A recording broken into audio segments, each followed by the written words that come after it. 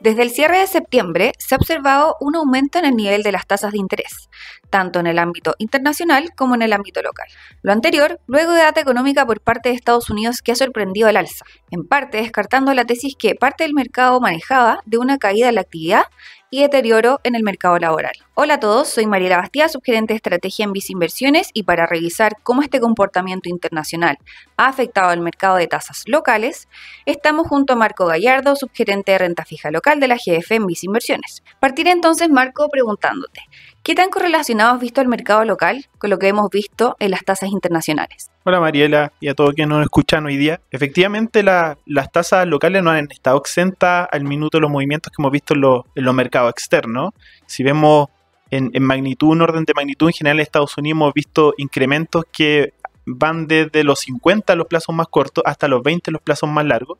Sin embargo, aquí en el mercado local se algo al revés. En general, los movimientos, en general, las caídas más relevantes se han concentrado en aquellos plazos más, eh, más largos. En general, hemos visto alza en, los plazos más más cortos del orden de 20 puntos base y hasta 40 en los plazos más largos. Entonces, en ese sentido, las tasas locales en general se han movido en la misma dirección que van la, las tasas externas, eh, principalmente las tasas de NUF, y quizá ya hacer la salvedad que los instrumentos nominales, los instrumentos denominados en pesos, esos se han quedado algo, algo más atrás en ese sentido, pero obviamente con, una magnitud algo menor a lo que hemos visto en las tasas de NUF. Perfecto. Y en esa línea, ¿qué eventos debiesen darse quizás para que esto mejore hacia adelante o que de repente vuelva a estar eh, el contexto internacional eh, en otra línea y que ayude en el fondo a que esta presión al alza no siga estando. En el ámbito externo, eh, claramente es súper relevante lo que pasa en, en, Estados Unidos respecto del, registro inflacionario, es algo que ha movido harto el mercado en lo, el último y obviamente un pie para adelante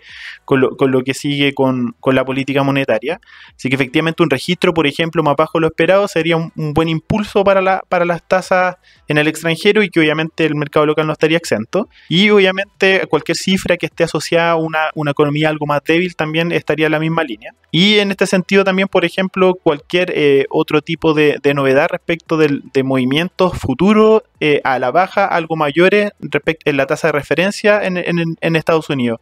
Sabemos que obviamente restan solamente dos reuniones, esperamos una baja, pero obviamente a la medida que hemos variaciones en la magnitud de esa caída, obviamente pudiera ser eh, algo a, considerar. Y acá en el mercado local ya tuvimos el registro de inflación. este registro de inflación es un buen paso en general para el, para el Banco Central para continuar bajando la tasa. De hecho, no son pocos en general los economistas que están considerando que baja algo más algo mayor a lo que a lo que tenían estimado de forma previa.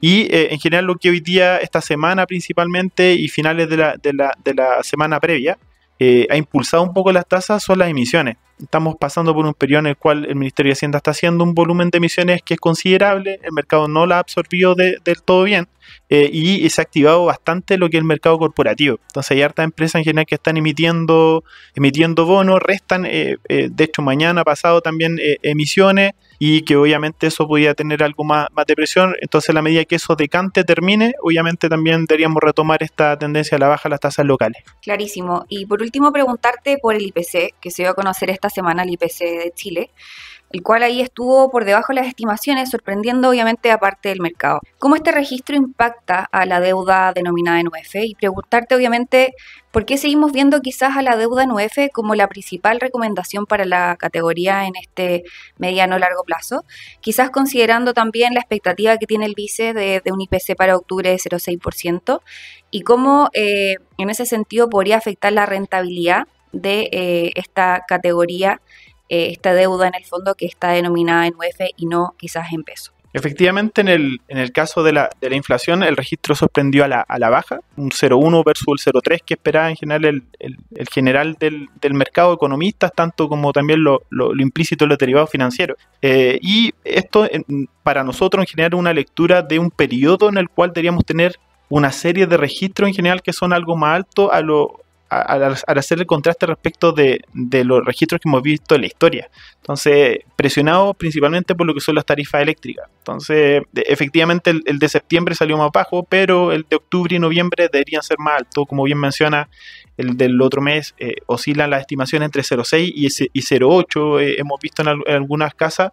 Entonces, eso obviamente impulsa a todo instrumento que esté indexado a la inflación Y, no, no pensando tampoco en el, en el mes a mes, porque eso es una tarea súper compleja eh, eh, de apuntar obviamente al, registro exacto inflacionario, sino que mirando un horizonte de inversión que está en línea con lo que hoy día ofrecen los distintos productos de inversión de, de, seis meses. Entonces, en general, si uno considera el IPC de noviembre, el de octubre, el de enero, en general son registros que son bien altos y que obviamente van a darle un impulso importante a lo que son los instrumentos denominados en UF, eh, por obviamente este, este registro mayor a lo esperado.